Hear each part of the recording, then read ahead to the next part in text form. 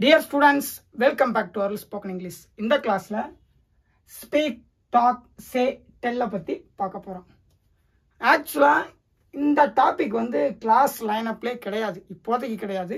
இது வந்து பார்த்திங்கன்னா டேரக்ட் ஸ்பீச் இன்டைரக்ட் ஸ்பீச் எடுக்கும்போது வரும். கிட்டத்தட்ட ஒரு மூணு நாலு மாதம் கழித்து வரும். இப்போ ஏன் இந்த கிளாஸ்னா ஷார்ட்ஸ் வீடியோ போடும்போது இதை பற்றி பார்த்தேன். சரி இது கொஞ்சம் முக்கியமானதாக இருக்கே இதை பற்றி இப்பயே சொல்லுவோம் அப்படிங்கிறதுக்காக. இந்த பர்டிகுலர் நாலு விருப்புகளை மட்டும் மட்டும். ஏன் அப்படின்னா இது நீங்கள் வந்து அடிக்கடி கேள்விப்பட்டிருப்பீங்க. இந்த நாளுக்குமே மீனிங் பார்த்தீங்கன்னா கிட்டத்தட்ட ஒரே மாதிரி இருக்கும். ஆனால் யூசேஜ் வேறு வேறு மாதிரி இருக்கும். அதனால நமக்கு வந்து இதை புரிஞ்சுக்கிறதுல கொஞ்சம் கஷ்டம் இருக்கும். எங்கே எதை யூஸ் பண்ணும் எந்த சுச்சுவேஷனுக்கு எதை யூஸ் பண்ணும் ஒரே மீனிங் இருக்குது. ஆனால் வேறு வேறு சுச்சுவேஷனுக்கு யூஸ் பண்ண சொல்கிறாங்களே அப்படிங்கிற குழப்பம் இருக்கும். அதனால இந்த டாப்பிக்கை பற்றி இப்போ பார்க்க போகிறோம் எடுத்த உடனே உங்களுக்கு டைரெக்டாக நம்ம இங்கே போக முடியாது. சில இதுக்கு முன்னாடி சில கான்செப்ட்ஸ்களை புரிஞ்சுக்கிட்டு நம்ம போனோம்னா தான் இதை பற்றி புரிஞ்சுக்க ஈஸியாக இருக்கும். ஃபஸ்ட்டு நம்ம ஸ்பீக்கர்னா யார் லிசனர்னா யார் அப்படின்னு தெரிஞ்சுக்கணும். ஸ்பீக்கர் லிசனர் ஸ்பீக்கர்னா யாரு? பேசுபவர் ஸ்பீக்கர் லிசனர்னா கேட்பவர். இப்ப நான் பேசுறேன் நீங்க கேக்குறீங்க. அப்ப நான் ஸ்பீக்கர் நீங்க லிசனர் இதே இந்த particular சென்டென்ஸ்ல he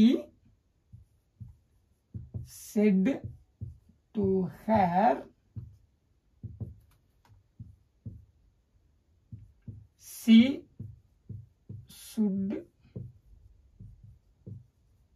come to his sister's marriage.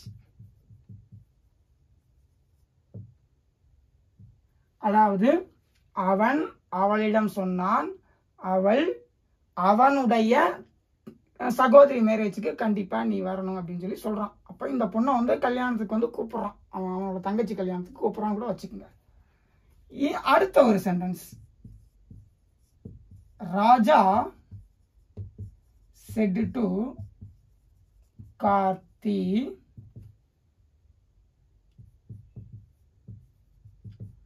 he will come tomorrow அப்படின்னு வச்சுக்கோங்க. ராஜா கார்த்திகிட்ட என்ன சொல்கிறான்னா அவன் நாளைக்கு வருவேன் அப்படின்னு சொல்லி சொல்கிறான் அப்போ அவன் இங்கே வந்து ராஜான்னு கூட வச்சுக்கலாம். அவர் அந்த மாதிரி நாளைக்கு வருவேன்னு சொல்லி கார்த்திகிட்ட சொல்லியிருக்கான். அப்போ இங்கே ஹீ வந்து ஸ்பீக்கர் இவங்க ஹெர் வந்து யாரு? லிசனர் இங்க ராஜா வந்து ஸ்பீக்கர் அத அந்த வ- இந்த வசனத்தை கேட்டவர் யாரு? இந்த வாக்கியத்தை பேசும்போது கேட்டவர் யாரு? கார்த்திக். ஓகே அவர் தான் சொல்றாங்க அப்ப நமக்கு என்ன தெரியுதுன்னா ஒரு சென்டென்ஸாக பேசும்போது ஸ்பீக்கரும் லிசனரும் இருப்பாங்க அப்படின்னு சொல்லி நமக்கு தெரியுது. நமக்கு இப்ப இந்த வசனத்தை வந்து இப்ப நான் வந்து சொல்றேன் Raja said to Karthi he will come tomorrow Raja வந்து கார்த்திகிட்ட அவன் நாளைக்கு வருவேன்னு சொல்லி சொன்னான்.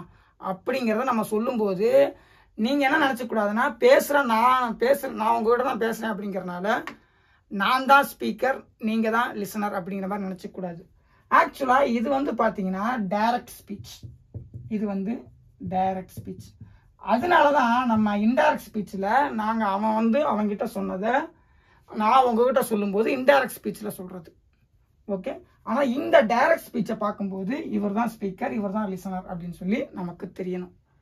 இப்போ நமக்கு தெளிவாக தெரிஞ்சிருச்சு. ஒருத்தவங்க பேசுகிறாங்க இன்னொருத்தவங்க கேட்குறாங்க அப்படின்னு சொல்லி தெரிஞ்சிருச்சு. அப்போ ஸ்பீக்கர் யார் லிசனர் யார் அப்படின்னு தெரிஞ்சிருச்சு. இப்போ நான் பேசுகிறேன் நீங்கள் கேட்குறீங்க நீங்கள் லிசனர் அப்போ இந்த பர்டிகுலர் வாக்கியத்துக்கு ராஜா பே- பேசுறாரு கார்த்தி கேட்குறாரு அப்போ இவர் தான் ராஜா ஸ்பீக்கர் கார்த்தி லிசனர் இங்கே ஹீ ஸ்பீக்கர் ஹெர் வந்து அந்த பொண்ணு வந்து லிசனர் ஸோ ஸ்பீக்கர் யார் லிசனர் யார் அப்படிங்கிற ஒரு கான்செப்ட் முக்கியம். ஏன் அப்படின்னா இந்த வெர்புகளே வந்து பேசுறத பத்தி தான் இருக்குங்கிறதுனால அப்ப யாருகிட்ட பேசுறோம் யாரு பேசுறா யாருகிட்ட பேசுறோம் அப்படிங்கிற கான்செப்ட் இருக்கு அப்படின்னு சொல்லி தெரிஞ்சுக்கணும். அதுக்கடுத்து ரெண்டாவது கான்செப்ட் என்ன? ரெண்டாவது விஷயம் என்ன அப்படின்னா பேசுறதுல நிறைய விஷயங்களை நம்ம சொல்ல முடியும். அதாவது என்னென்ன பத்தி பேசுறாங்க? ஃபர்ஸ்ட் வந்து டாபிக் அதுக்கடுத்து இஸ்யூ அதுக்கடுத்து ஒரு ஒரு ஒரு ஒரு மேட்டரை பற்றி பேசுகிறாங்க ஏதாவது ஒரு பர்டிகுலர் விஷயத்தை பற்றி பேசுகிறாங்க இங்கே நீங்கள் நல்லா பார்த்தீங்கன்னா he spoke to her about college admission அப்படின்னு சொல்லி சொல்லும்போது நமக்கு என்ன தெளிவாக தெரிய வருது அப்படின்னா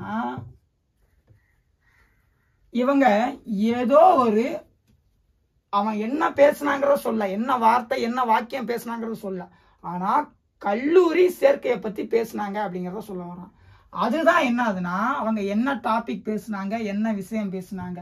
ஸோ தலைப்பு அப்புறம் விஷயம். இதை பற்றி சொல்றாங்க. இதை பற்றி பேசினேன் அப்படின்னு சொல்லி சொல்ல முடியும். என்ன தலைப்பை பற்றி பேசினேன் இல்லை என்ன விஷயத்தை பற்றி பேசினேன்? ரெண்டாவது சென்டென்ஸ் ரெண்டாவது வந்து என்னன்னா சென்டென்ஸ் சென்டென்ஸ்னா நம்ம எல்லாருக்கும் தெரியும். வாக்கியம். இங்க நம்ம இப்படி சொல்ல முடியும். He said to her he got a seat in Anna university இங்க அந்த பேச்சில் இவர் என்ன சொல் இவர் என்ன சொல்கிறாருன்னா இந்த ஒரு பர்டிகுலர் சென்டென்ஸை சொல்லியிருக்காரு. He got a seat in Anna university அப்போ இங்கே நம்ம என்ன விஷயத்தை பற்றி பேசணும்னு சொல்ல முடியும் அதில் பர்டிகுலராக என்ன வாக்கியம் ஒருத்தர் பேசினாருங்கிறதையும் சொல்ல முடியும். அதுக்கடுத்து மூணாவதாக என்ன வார்த்தை பேசினாருங்கிறதையும் சொல்ல முடியும். பர்டிகுலராக என்ன வார்த்தை அப்படிங்கிறத சொல்ல முடியும். He said to her Anna university Anna யூனிவர்சிட்டின்னு சொன்னாரு. அப்படிங்கிறதையும் சொல்ல முடியும். அப்ப நமக்கு என்ன தெரியுதுன்னா பேசுறதுல பத்தி நம்ம சொல்லும்போது அதை மூணு விதங்களா கன்வே பண்ண முடியும். ஒன்று என்ன விஷயத்த பேசுனாங்க என்ன தலைப்பை பற்றி பேசுனாங்க என்ன மேட்ரு என்ன இஷ்யூ என்ன டாபிக்கை பற்றி பேசுனாங்க. ரெண்டாவது அதுல அந்த அப்படி பேசும்போது அவங்க என்ன பர்டிகுலர் வாக்கியத்தை பேசுனாங்க? அதுதான் அதையும் சொல்ல முடியும். அதுக்கடுத்து என்ன பர்டிகுலர் வார்த்தை பேசுனாங்கிறத கூட சொல்ல முடியும். ஏன்னா நம்ம வந்து ஏதோ ஒரு விஷயத்தை பற்றி பேசியிருப்போம் ஏதோ ஒரு வாக்கியம் பேசியிருப்போம் ஏதோ ஒரு வார்த்தை பேசியிருப்போம். ஸோ இந்த மூணு விஷயத்தையும் நம்ம சொல்ல முடியும்ல? அதுதான் வந்து பார்த்தீங்கன்னா இந்த நம்ம பேசுறதுல என்னென்ன சொல்ல முடியுது அப்படின்னு. இந்த மூணு விஷயங்களையும் நம்ம பேசுறதோட ஆப்ஜெக்டாக யூஸ் பண்ணிக்க முடியும். நம்ம எதை பற்றி பேசணும்னு சொல்ல முடியும்? என்ன வாக்கியம் பேசணும்னு சொல்ல முடியும்? என்ன வார்த்தை பேசணும்னு சொல்ல முடியும்? ஆக பேசணும். அதில் என்ன தலைப்பு என்ன வாக்கியம் என்ன வார்த்தை. ஸோ இந்த மூணையும் இந்த பேச்சுக்கு ஆப்ஜெக்டாக யூஸ் பண்ணிக்க முடியும். ஓகே இப்போ நமக்கு அடுத்த விஷயம் புரிஞ்சிருச்சு. அதுக்கடுத்து நம்ம எங்கே இப்போ என்ன புரிஞ்சுக்கணும் அப்படின்னா ஏன் இவ்வளவு இருக்குது அப்படின்னு தெரிஞ்சுக்கணும். ஏன் இவ்வளவு இருக்குது அப்படின்னு நம்ம தெரிஞ்சுக்க போறோம். அதாவது நமக்கு தமிழ்ல பாத்தீங்கன்னா பேசு அப்படின்னு ஒண்ணு இருக்கு. பேசு இருக்கு. அதுக்கடுத்து சொல் அப்படின்னு ஒண்ணு இருக்கு. சொல்னா என்ன? சொல்றது. ஏதாவது சொல்றது. அதாவது வேர்டு அப்படிங்கிற மீனிங் எடுத்துக்கூடாது. இது வந்து கூறு அப்படின்னு சொல்லி சொல்றோம்ல. ஏதாவது கூறு அதாவது ஏதாவது சொல்லு அது அந்த மீனிங்ல ஸோ இப்ப நமக்கு என்ன தெரியுது அப்படின்னா பேசுன்னு ஒன்று இருக்கு சொல்னு ஒன்று இருக்கு. அப்ப பேசுனா என்ன சொல்னா என்ன? ரெண்டுலையும் வார்த்தை தான் வரப்போகுது வாயிலிருந்து. அப்போ அப்ப ரெண்டுக்கும் உள்ள வித்தியாசம் என்ன அப்படின்னு நமக்கு தெரியணும். பேசுங்கிறது இப்போ நீங்கள் வந்து ஒரு ஆஃபீஸில் ஒர்க் பண்றீங்க ஒரு மீட்டிங் நடக்குது. அப்போ அங்க வந்து அந்த மீட்டிங்கில் நீங்கள் வந்து ஏதோ ஒரு விஷயத்தை பத்தி பேசுறீங்க. இப்போ யார் லேட்டாக வர்றாங்க? அவங்கள பற்றி பேசுகிறீங்க லேட் கமர்ஸை பற்றி அந்த மீட்டிங்கில் பேசுகிறீங்க அதுக்கடுத்து ஒரு ஸ்டேஜில் வந்து ஒரு ஒரு மேடையில் நீங்கள் வந்து ஒரு காந்திஜியை பற்றி பேசலாம். ஓகே ஒரு அப்துல் கலாமை பற்றி பேசலாம். அப்போ அதெல்லாம் வந்து நம்ம ஏன் சொல்கிறோம் பேசணும் அப்படின்னு சொல்லி பேசுங்கிற வார்த்தையை பயன்படுத்துகிறோம்னா நான் காந்திஜியை பற்றி பேசினேன். காந்திஜியை பற்றி பேசினேன். பேசினேன் அப்படின்னு சொல்கிறோம் இங்கே சொல் அப்படிங்கிறதுக்கு ஒருத்தர் வந்து உங்ககிட்ட ஒரு ஆயிரம் கடை கடன் வாங்கியிருக்காரு. இந்த மாதம் தர்றேன் அப்படின்னு சொல்லி சொல்லியிருக்காரு. இந்த மாதம் ஒரு பத்தாம் தேதி தர்றேன்னு சொல்லி சொல்லியிருக்காரு. அப்போ நீங்கள் அவர்கிட்ட அந்த எப்படி சொல்ல முடியும்னா அவன் இந்த மாதம் பத்தாம் தேதி வாங்கின பணத்தை திருப்பி கொடுத்துருக்கு கொடுக்க போறதா சொன்னான்னு தான் நம்ம சொல்லுவோம். பேசினான்னு நம்ம சொல்ல மாட்டோம். பொதுவாக என்ன சொல்லுவோம்? சொன்னான்னு தான் சொல்லுவோம். அப்ப சொன்னான் அப்படிங்கிறது இங்க நம்ம எதை ஃபோக்கஸ் பண்றோம்னா சென்டென்ஸ் சென்டென்ஸை ஃபோக்கஸ் பண்ணுறோம் அவன் ஒன்ன முட்டாள்னு சொன்னான் அப்படின்னு தான் நம்ம சொல்ல முடியும். அப்ப இங்கே நம்ம என்ன பண்றோம்னா வார்த்தையும் ஃபோக்கஸ் பண்றோம். அவன் உன்னை முட்டாள்னு பேசினான் அப்படின்னும் நம்ம சொல்ல முடியும். ஆனா பொதுவா நம்ம என்ன ஒரு டாப்பிக்கை பற்றி பேசுகிறோம் என்ன தலைப்பை பற்றி பேசுகிறோம் என்ன விஷயத்தை பற்றி பேசுகிறோம்னு சொல்லி சொல்லும்போது தான் நம்ம எதை யூஸ் பண்ணுவோம்னா பேசு அப்படிங்கிறத யூஸ் பண்ணுவோம். தலைப்பு அப்புறம் என்ன விஷயம் இதை பற்றி சொல்லும்போது தான் என்ன சொல்லுவோம் பேசுங்கிறத யூஸ் பண்ணுவோம்.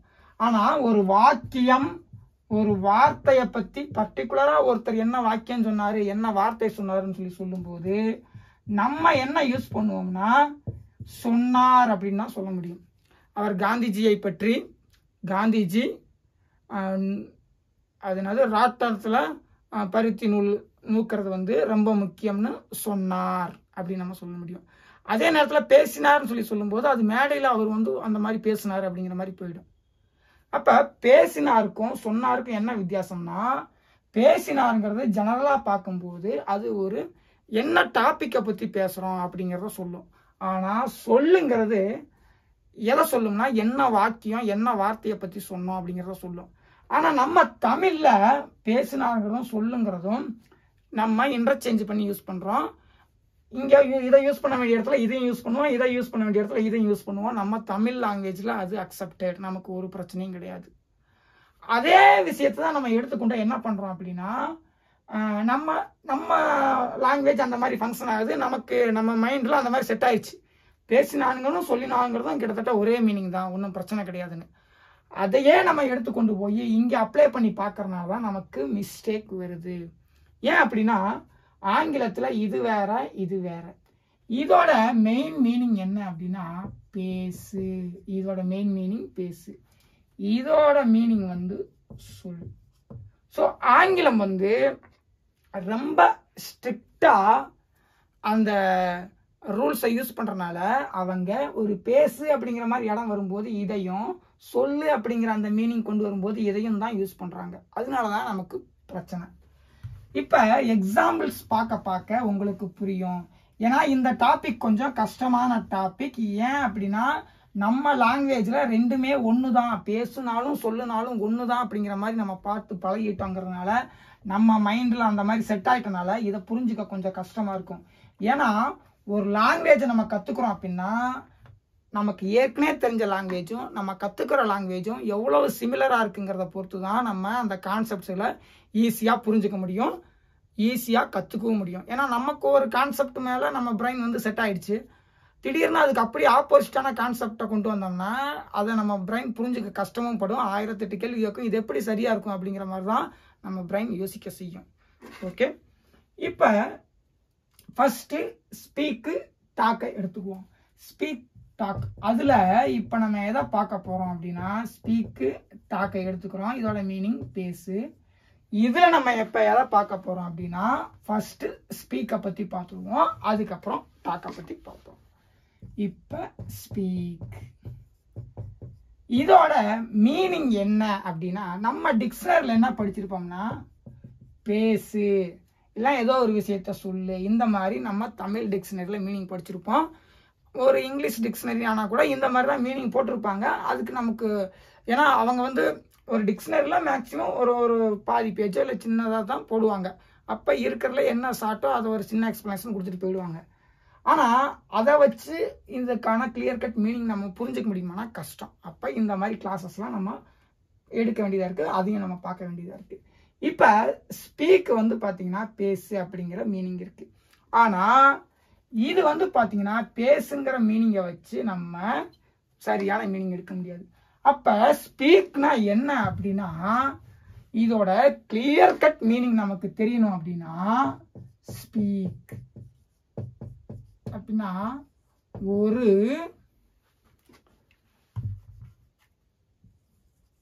ஒரு தலைப்பை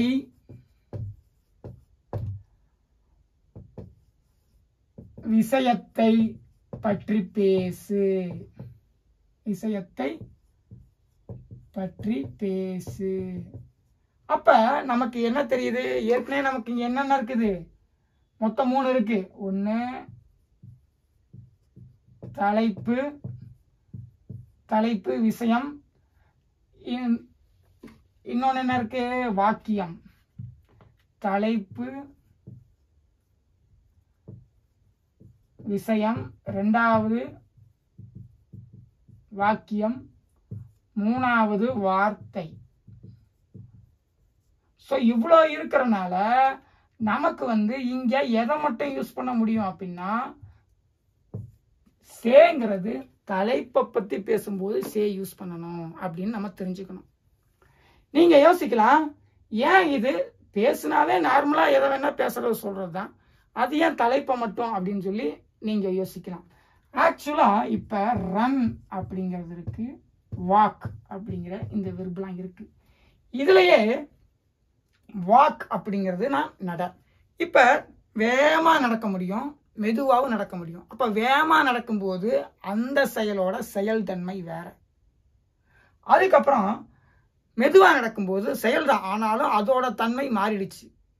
அப்போ நம்ம என்ன பண்ண வேண்டியது இருக்குது அப்படின்னா இங்கே என்ன பண்ண முடியும்? வாக் ஃபாஸ்ட் வாக் ஸ்லோ அப்படின்னு சொல்லி சொல்கிறோம் இந்த மாதிரி நம்ம சொல்கிறோம் இதையே ஸ்லோவாக நடந்தால் நம்ம வேற மாதிரி கூட ஸ்லோவாக நடக்கிறாங்களா? அப்போ அதுக்கு தகுந்த இன்னொரு வெர்பு கிரியேட் பண்ணிக்க.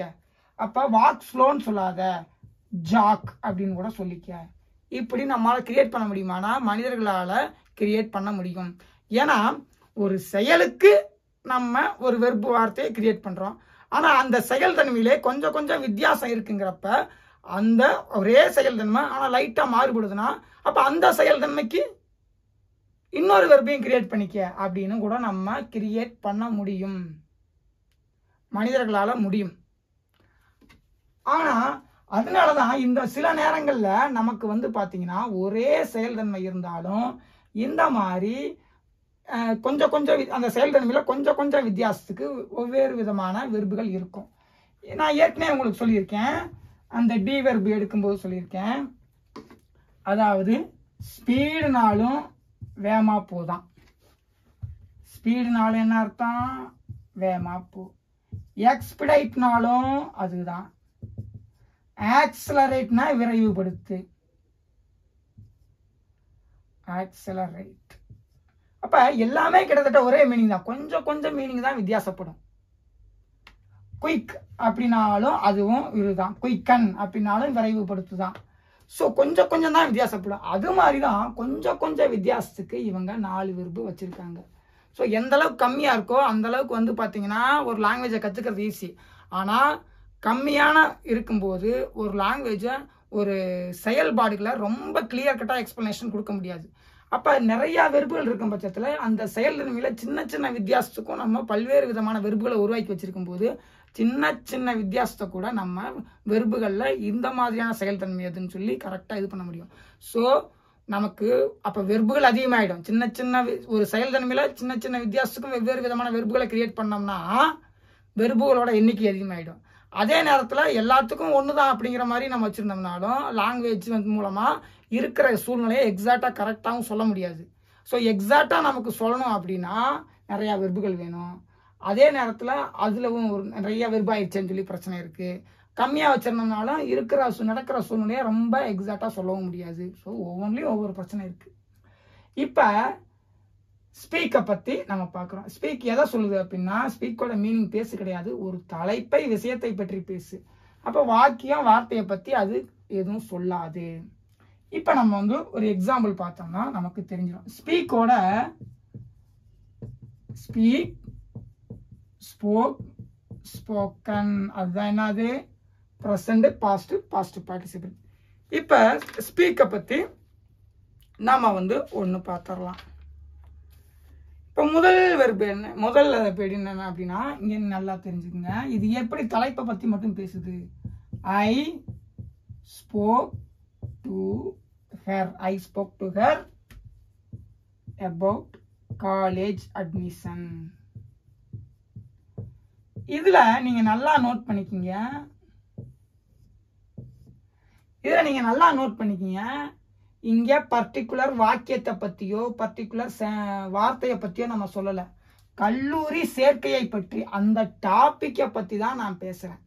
ஓகே இங்க அந்த இஷ்யூ அந்த அது என்ன விஷயம் என்ன மேட்ரு அப்படிங்கிறத பத்தி பேசுறோம். அதைத்தான் நான் இங்க சொல்லியிருக்கேன். அப்போ ஸ்போக்ல வந்து நான் வந்து என்ன தலைப்புன்னு தான் சொல்லியிருக்கேன்.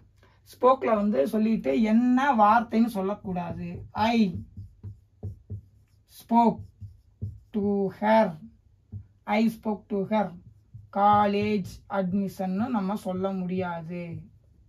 ஏன் அப்படின்னா இது ரெண்டு வார்த்தையா போயிடும். ஸோ இது வந்து என்ன சொல்லாது? வார்த்தையை பத்தி சொல்லாது. அது என்ன தலைப்பை பத்தி பேசுறோம் அப்படிங்கறதான் சொல்லணும். அதே மாதிரி ஒரு சென்டென்ஸையும் சொல்லாது. I spoke to her he got a seat in Anna university அப்படிங்கிறதையும் இது சொல்லாது. ஏன் அப்படின்னா இந்த பர்டிகுலர் வெர்போட தன்மை என்னன்னா என்ன தலைப்பை பற்றி பேசணும் அப்படிங்கிறது தான் அதுவும் இல்லாமல் இது ஏன் இப்படி செயல்படுது அப்படின்னா இது வந்து ஒரு இன்ட்ரான்சிட்டிவ் தன்மையில் இருக்கு. இன்ட்ரான்ஸ் டிரான்சிட்டிவ் தன்மையில் இருக்கு. இன்ட்ரான்சிட்டிவ் வெர்புனா என்னன்னு நமக்கு இங்கே தெரியணும். அப்போ தான் இதை பற்றி நமக்கு புரிய வரும். அதாவது இன்ட்ரான்சிட்டிவ் இன்ட்ரான்சிட்டிவ் வெர்பு அப்படின்னா ஒரு செயல் நடக்குது அப்படிங்கிறதே அது சொல்லும். எல்லா வெர்பும் செயல் நடக்குங்கிறத சொல்லும். இப்போ நீங்கள் நல்லா நோட் பண்ணிக்கோங்க. த சைல்டு இஸ் லாஃபிங் லாஃபிங்னா சப்ஜெக்ட் ஒரு செயல் அதாவது செஞ்சுக்கிட்டு இருக்கு அதாவது சிரிச்சு சிரிச்சுக்கிட்டு இருக்கு. த சைல்டு இஸ் ஸ்லீப்பிங் இங்கேயும் ச- ஒரு செயலை வந்து செஞ்சுக்கிட்டு இருக்கு. ஸ்லீப்பிங் இதில் நீங்கள் நல்லா நோட் பண்ணிக்கிங்க. அது எதை சிரிக்குது எதை தூங்குதுன்னா நம்ம கேட்க முடியாது. அதே நேரத்தில் த சைல்டு இஸ் ஈட்டிங் அப்படின்னு சொல்லும்போது அந்த குழந்தை என்ன சாப்பிடுதுன்னு கேட்க முடியும்.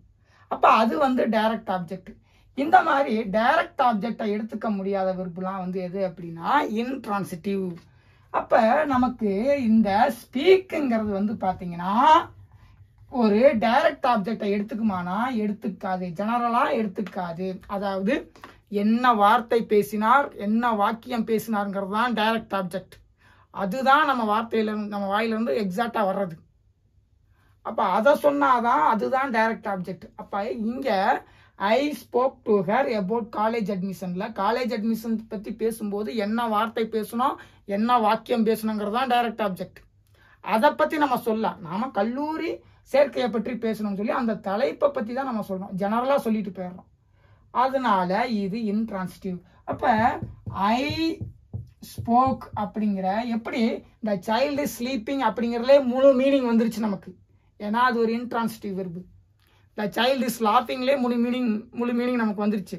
அதே நேரத்தில் த சைல்டு இஸ் ஈட்டிங்லேயும் முழு மீனிங் இருக்குது ஆனால் அதுக்கடுத்து என்ன சாப்பிடுது அப்படின்னு சொல்லி நம்ம கேட்க முடியும். அதே மாதிரி ஐ ஸ்போக் அப்படிங்கிறதுல நீங்கள் இப்போ நான் பேசினேன் அப்படிங்கிற சொல்லி ஓகே என்ன பேசினேன் அப்படிங்கிறதையும் என்னால் சொல்ல முடியும். அதே நேரத்தில் இதுலயே இதோட மீனிங் வந்துருச்சு. ஃபுல் மீனிங் நமக்கு கிடச்சிருச்சு. நம்ம என்ன பேசணும் அப்படிங்கிறதையும் நம்ம எந்த எதை வச்சு சொல்ல முடியும்னா ஐ ஐ ஸ்போக் எபவுட் அப்படிங்கிறத வச்சு தான் சொல்ல முடியும். ஏன்னா இந்த ஒரு ப்ரிபாய்சன் வச்சு தான் சொல்ல முடியும். ஏன்னா என்ன வார்த்தை பேசினேன் என்ன வாக்கியம் பேசினேங்கிறது தான் டைரக்ட் ஆப்ஜெக்ட் இங்கே ஐ ஸ்போக் அபவுட் காலேஜ் அட்மிஷனில் நம்ம பேசுனது வந்து எந்த வார்த்தை என்ன வாக்கியம் பர்டிகுலராக சொல்ல. இருந்தாலும் காலேஜ் அட்மிஷனுங்கிற அந்த டாப்பிக்கை பற்றி பேசினேன்னு சொல்கிறோம் ஸோ என்ன வார்த்தை பேசினேன் என்ன வாக்கியம் பேசினேங்கிறது தான் டைரக்ட் ஆப்ஜெக்ட் அப்படி இல்லாமல் நம்ம வந்து அது எதை பற்றி பேசணும்னு சொல்லும்போது அது டைரக்ட் ஆப்ஜெக்ட் கிடையாது. ஓகே காலேஜ் அட்மிஷனை பற்றி தான் பேசணும். ஓகே அது வந்து பார்த்தீங்கன்னா டைரக்ட் ஆப்ஜெக்ட் இது வந்து என்ன சொல்லுவாங்கன்னா தெளிவாக சொல்லணும்னா ஆப்ஜெக்ட் ஆஃப் த வெர்புன்னு சொல்லிடுவாங்க. இது டைரக்ட் ஆப்ஜெக்ட்னு சொல்ல மாட்டாங்க இன்டைரக்ட் ஆப்ஜெக்ட்னு சொல்ல மாட்டாங்க. ஆப்ஜெக்ட் ஆஃப் த வெர்புன்னு சொல்லிட்டு போயிடுவாங்க. ஓகே இது வந்து ரொம்ப டீப்பான கிராமர் ஆப்ஜெக்ட் ஆஃப் த வெர்புன்னு சொல்லிடுவாங்க. ஏன்னா என்ன வார்த்தை பேசணும் என்ன வாக்கியம் பேசணுங்கிறது தான் டைரக்ட் ஆப்ஜெக்ட் ஆனால் இங்கே காலேஜ் அட்மிஷனை பற்றி பேசணும் அப்படிங்கிற சொல்லும்போது இது ஆப்ஜெக்ட் ஆஃப் த வெர்புன்னு சொல்லுவாங்க. ஏன் அப்படின்னா ஒரு கிராமரை ஒரு அனலைஸ் பண்ணி பார்க்கும்போது சில விஷயங்களுக்கு நம்ம அதிகபட்சம் இவ்வளவுதான் நேமிங் பண்ண முடியும். அதனால அவங்க அந்த மாதிரி பண்ணியிருக்காங்க. அதே நேரத்தில் நம்ம காலேஜ் அட்மிஷனை பற்றி தான் பேசணும். ஆனால் என்ன வார்த்தை என்ன வாக்கியம் சொல்லலை அப்படிங்கிறனால அது டைரக்ட் ஆப்ஜெக்டாகவும் இருக்க முடியாது. அந்த வார்த்தை வாக்கியம் தான் டைரக்ட் ஆப்ஜெக்ட் அதனால அதை பற்றி சொல்லலைங்கிறனால இந்த காலேஜ் அட்மிஷனுங்கிறது டைரக்ட் ஆப்ஜெக்டாகவும் இருக்க முடியாது. அதே நேரத்தில் அது இன்டைரக்ட் ஆப்ஜெக்ட்டும் கிடையாது. ஏன்னா இன்டைரக்ட் ஆப்ஜெக்ட்டுங்கிறது யாருக்கிட்ட பேசணும் யார் அதை ரிசீவ் பண்ணாங்கிறத இன்டைரக்ட் ஆப்ஜெக்ட் அதுவும் கிடையாது. அப்போ இது எப்படி சொல்ல முடியும்? வேற வழியே இல்லாமல் அவங்க என்ன பண்ணிடுறாங்கன்னா ஆப்ஜெக்ட் ஆஃப் த வெர்புன்னு சொல்லி முடிச்சுட்டு போயிடுறாங்க. சில நேரங்களில் சில புத்தகங்கள் வந்து இதை வந்து ஒரு டைரக்ட் ஆப்ஜெக்ட் அப்படிங்கிற மாதிரி சொல்லியிருப்பாங்க சில இடங்கள்ல. அது எங்கே அப்படின்னு சொல்லி நான் உங்களுக்கு சொல்கிறேன் இப்போ I spoke about college admission நான் கல்லூரி கல்லூரியில் சேர்வதை பற்றி பேசினேன். கல்லூரி சேர்க்கையை பற்றி பேசினேன்னு சொல்லி மீனிங் வந்துருச்சு. ஏன் அப்படின்னா நமக்கு இந்த ஸ்போக்கை பற்றி தெளிவாக தெரியணும். அதாவது ஸ்பீக் ஸ்போக் ஸ்போக்கன் நமக்கு தெரிஞ்சிருச்சு. இப்போ நம்ம சில இடங்கள் நம்ம பார்த்துருப்போம். ஐ ஸ்பீக் இங்கிலீஷ் இதில் இங்கிலீஷுங்கிறது இது என்ன பேசுனேன்னு டைரெக்டாக தானே சேர்த்துருக்கோம். அது நம்ம வந்து ஒரு எபோட் போட்டுலாம் சேர்க்கலையில.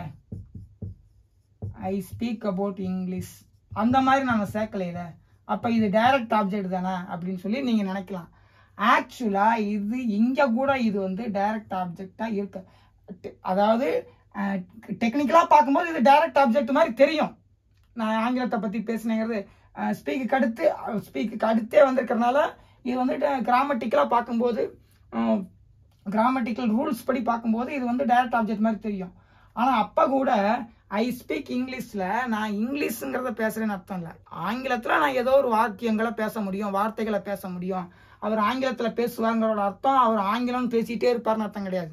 ஆங்கிலத்தில் என்ன என்ன வார்த்தை என்ன வாக்கியங்கிறத அவரால் பேச முடியும். அப்போ அதுதான் டைரக்ட் ஆப்ஜெக்ட் அங்கே கூட அவர் என்ன வாக்கியம் பேசுகிறார் என்ன வார்த்தை பேசுகிறாருங்கிறது தான் டைரக்ட் ஆப்ஜெக்ட் ஆனாலும் ஏன் நம்ம இங்கே வந்து I speak English he speaks English எல்லாம் சொல்கிறோம் அப்படின்னா நமக்கு வேற இது இப்படி நம்ம சொல்ல முடியும். ஐ ஸ்பீக் அபவுட் இங்கிலீஷ்ங்கிறது இதோட அர்த்தம் என்ன ஆகிடும்னா நான் ஆங்கிலம் பேசலை ஆனால் ஆங்கிலத்தை பற்றி பேசுகிறேன் அப்படின்னு சொல்கிற மாதிரி மாறிடும். அப்போ நான் ஆங்கிலத்தை தான் பேசுகிறேன் அப்படி வேறு வழி இல்லை. அதனால நமக்கு என்ன பண்ண வேண்டியது இருக்குன்னா இந்த மாதிரி அந்த ஸ்பீக்குக்கு அடுத்தே தான் நம்ம வந்து இது போட முடியுது. இங்கிலீஷுங்கிற இங்கிலீஷுங்கிற ச இங்கிலீஷுங்கிற ஒரு நவுன் வேலை நம்ம சேர்த்துருக்கோம். ஆனால் அதே நேரத்தில் இது டைரக்ட் ஆப்ஜெக்டாகவும் மாறிடாது. ஏன் அப்படின்னா நம்ம என்ன பேசுகிறோம் அப்படிங்கிறத என்ன பர்டிகுலர் வார்த்தையை பேசுகிறோங்கிறது தான் டைரக்ட் ஆப்ஜெக்டாக இருக்க முடியும். அதனால இதெல்லாம் வந்து பார்த்தீங்கன்னா ஆப்ஜெக்ட் ஆஃப் த வெர்பில் தான் வரும். ஆப்ஜெக்ட் ஆஃப் த வெர்பு இதுவும் வந்து பார்த்தீங்கன்னா ஆப்ஜெக்ட் தான். ஆனால் டைரக்ட் ஆப்ஜெக்டான்னு சொன்னால் டைரக்ட் ஆப்ஜெக்ட் மாதிரி தெரியும். ஆனால் டைரக்ட் ஆப்ஜெக்ட் கிடையாது. ஓகே என்ன வார்த்தை என்ன இதுதாங்கிறதான் டைரக்ட் ஆப்ஜெக்ட் அதனால இது வந்து பார்த்தீங்கன்னா டைரக்ட் ஆப்ஜெக்ட் மாதிரி தெரிஞ்சாலும் நம்ம ஆங் அதுக்காக நம்ம வந்து ஆங்கிலம்னா பேசிகிட்டே இருக்க போகிறோம் நான் ஆங்கிலம் ஆங்கிலம் ஆங்கிலம்லாம் சொல்லிட்டு இருக்க போகிறோம் அதுவும் கிடையாது. ஸோ சில விஷயங்களை நம்ம கிராமட்டிக்கலாக எக்ஸ்பிளனேஷன் கொடுக்கும்போது சில ஒ- ஒரு ரூலில் செட் ஆகும். ஆனால் இன்னொரு ரூல்லேருந்து பார்க்கும்போது இது வந்து தவறாக இருக்கே அப்படிங்கிற மாதிரி இருக்கும். ஏன்னா சில டாபிக்கள்லாம் அப்படிதான் இருக்கும். ஸோ அப்போ நம்ம என்ன தெரிஞ்சுக்க வேண்டியது இருக்குன்னா ஸ்பீக்குங்கிறது ஒரு தலைப்பை ஒரு விஷயத்தை பற்றி பேசும்போது ஸ்பீக் சொல்லணும். I speak about Ramayana the Ramayana ஏன்னா எல்லாருக்குமே தெரியும் ராமாயணங்கிறது. I speak about the Ramayana அப்போ நமக்கு தெளிவாக தெரிஞ்சிருச்சு இது இங்கே இப்போ ராமாயணங்கிற அந்த புக்கை பற்றி பேசுகிறேன் அந்த தலைப்பை பற்றி அந்த விஷயத்தை பற்றி பேசுகிறேன் அப்படின்னு சொல்லி அர்த்தம். இதை வச்சுக்கிட்டு நம்ம வந்து ஒரு வாக்கியத்துக்கோ வார்த்தைக்கோ பேசக்கூடாது பேசினா தவறாயிடும். ஏன்னா இது அந்த மாதிரியான வெர்பு ஓகே உங்களுக்கு தெளிவாக புரிஞ்சிருக்கும்னு நினைக்கிறேன். ஸ்பீக்னாவே ஒரு தலைப்பை ஒரு விஷயத்தை பற்றி பேசு. அந்த மீனிங்கை நீங்கள் வந்து தமிழுக்கு எடுத்துக்கிட்டிங்கனாவே எந்த பஞ்சாயத்துலாம் உங்களுக்கு வராது. ஒரு வாக்கியத்தை ஒரு வார்த்தையை ஸ்பீக்குக்கு எடுத்து யூஸ் பண்ணக்கூடாது. ஏன்னா இதோட மீனிங்கே ஒரு தலைப்பை இல்லை விஷயத்தை பற்றி பேசு.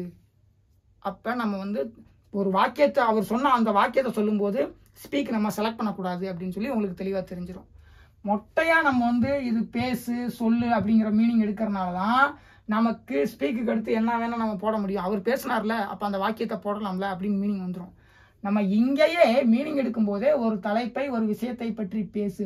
அதுதான் ஸ்பீக்கு மொட்டையாக வெறும் ஸ்பேஸு மட்டும் கிடையாது அப்படின்னு நம்ம தெரிஞ்சுக்கிட்டோம்னாவே இந்த பிரச்சனையை தவிர்த்திடலாம். ஓகே அப்போ உங்களுக்கு தெளிவாக தெரிஞ்சிருச்சு. இன்னொரு எக்ஸாம்பிள் பார்க்கலாம். ஹீ ஸ்பீக்ஸ் த ட்ரூத் அப்படின்னு சொல்லும்போது த ட்ரூத்துங்கிறது டைரக்ட் ஆப்ஜெக்ட் மாதிரி தெரியும். அதுக்காக அவர் உண்மையை பேசுகிறாருங்கிறது அர்த்தம் ஓகே ஆனால் அதுக்காக அவர் அந்த உண்மைங்கிறத பேசினார் அப்படின்னு அர்த்தம் கிடையாது. அந்த உண்மையில் அவர் என்ன நாலஞ்சு சென்டென்ஸ் சொல்லியிருப்பாரு. இல்லை அப்படி நடந்துச்சு இப்படி நடந்துச்சுன்னு சொல்லியிருப்பாரு. வார்த்தையை பேசியிருப்பாரு. அதுதான் வந்து பார்த்தீங்கன்னா எக்ஸாக்டாக டைரக்ட் ஆப்ஜெக்ட் இது வந்து பார்த்தீங்கன்னா டைரக்ட் ஆப்ஜெக்ட் மாதிரி தெரியும். ஆனால் அதுக்காக வந்து அது டைரக்ட் ஆப்ஜெக்ட்டுக்கு இருக்கிற எல்லா தன்மையும் இதில் இருக்குது அப்படின்னு சொன்னால் கிடையாது. ஓகே ஜெனரலாக இருக்குது. ஜெனரலாக இன்னும் சொல்ல போனால் கிட்டத்தட்ட இது வந்து பார்த்தீங்கன்னா ஒரு டாபிக் மீனிங்கில் தான் இருக்குது. ஹீ ஸ்பீக்ஸ் த ட்ரூத் அவர் உண்மையை பேசுகிறார். தலைப்பு வாக்கு விஷயம் அந்த மீனிங்கில் தான் இப்போ கூட இருக்குது. ஓகே பர்டிகுலர் சென்டென்ஸோ பர்டிகுலர் வேர்டோ கிடையாது. ஹீ ஸ்பீக் ட்ரூத் அதே மாதிரி இங்கிலீஷுங்கிறதும் ஒரு தலைப்பு. ஒரு விஷயம் அது பர்டிகுலர் வார்த்தையோ வாக்கியமோ கிடையாது இங்கிலீஷுங்கிறது. ஸோ நமக்கு தெளிவாக தெரிஞ்சிருச்சு ஸ்பீக்குங்கிறது ஒரு தலைப்பு இல்லைன்னா விஷயத்தை பற்றி பேசும்போது ஸ்பீக் சொல்லணும். ஓகே அதுக்கடுத்து நம்ம என்ன பார்க்க போகிறோம் அப்படின்னா டாக் டாக் அப்படின்னா என்ன அப்படின்னா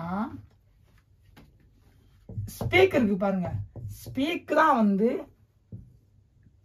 ஸ்பீக்கு எங்கெங்க நம்ம யூஸ் பண்ண முடியுமோ அப் அப்படியே நம்ம டாக்குக்கு யூஸ் பண்ண முடியும். ஆனால் என்ன வித்தியாசம் அப்படின்னா இது வந்து பார்த்தீங்கன்னா ஒரு informal informal word informal word அதாவது இன்ஃபார்மல் வெர்பு வேர்டு சே இருக்கு பாருங்க. இப்போ அதாவது ஒரு ஆஃபீஸ் மீட்டிங்கில் நீங்கள் கலந்துக்கிறீங்க. அங்கே நீங்கள் வந்து ஒரு ஆஃபீஸ் மீட்டிங்கில் கலந்து ஒரு விஷயத்தை பற்றி பேசுகிறீங்கன்னா அங்கே நீங்கள் வந்து ஸ்பீக் தான் யூஸ் பண்ணணும். சாரி சேன்னு சொல்லிட்டேன். ஸ்பீக் தான் யூஸ் பண்ணணும். அதே நேரத்தில் ஒரு ரெண்டு ஃப்ரெண்ட்ஸுக்கு இடையில பேசிகிட்டு இருக்கீங்க. ஒரு டீ குடிச்சிட்டு ஜாலியாக பேசிகிட்டு இருக்கீங்கன்னா அங்கே டாக் யூஸ் பண்ணலாம்.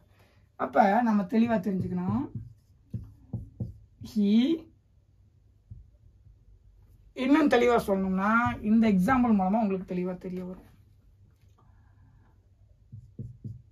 He spoke to her about college அட்மிஷனுக்கும்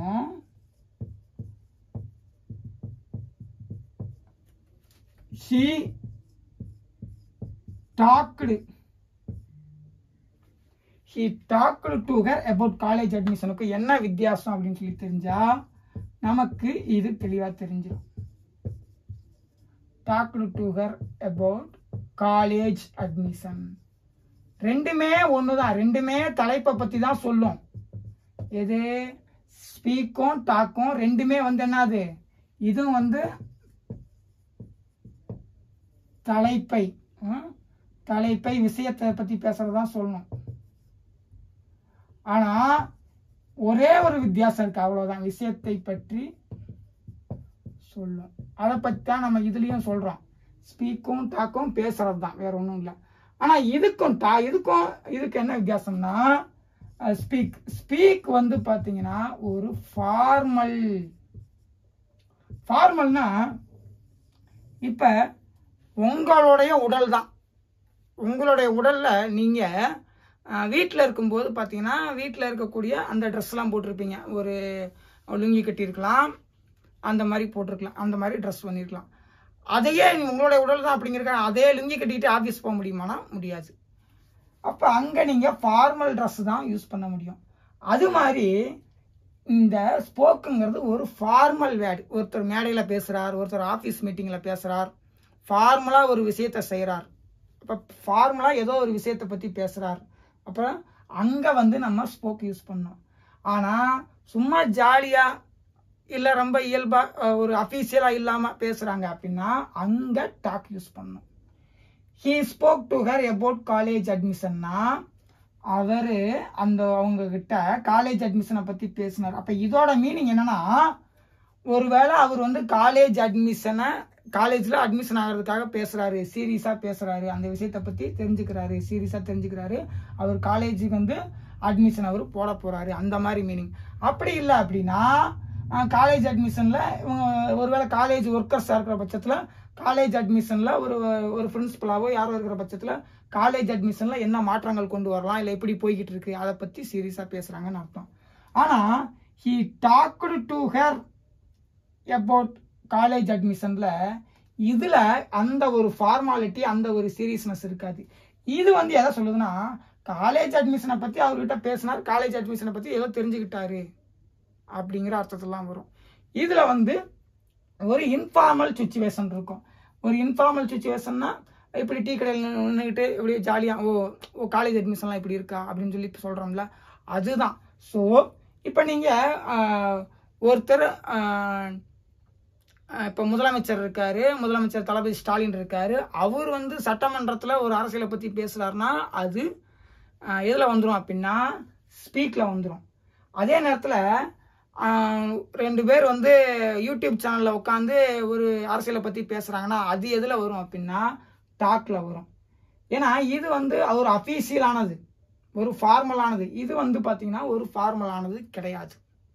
okay ஆனால் இந்த ஸ்பீக்கை வந்து இந்த ஸ்பீக்கு ஸ்போக் ஸ்போக்கன் இருக்குல்ல அதை வந்து நம்ம ஒரு இன்ஃபார்மல் சுச்சுவேஷனுக்கும் ஒரு சீரியஸ்னஸ் காட்டுறதுக்காக நம்ம வந்து தாராளமாக இங்கே யூஸ் பண்ணலாம். ஆனால் இந்த டாக்கை எடுத்துகிட்டு போய் ஒரு ஃபார்மல் ஒரு சீரியஸான சுச்சுவேஷனுக்கு யூஸ் பண்ண முடியுமானா யூஸ் பண்ண முடியாது. முதலமைச்சர் வந்து அதை பற்றி பேசினார். ஹீ டாக்குடி அபவுட் நீட்லாம் நம்ம சொல்ல முடியாது. ஏன்னா அவர் he spoke about the need அப்படின்னு தான் சொல்ல முடியும்.